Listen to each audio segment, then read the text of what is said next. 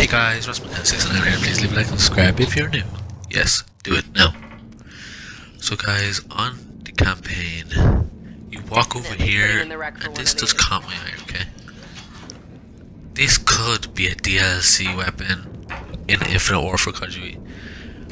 Whatever, yeah. But look at it guys.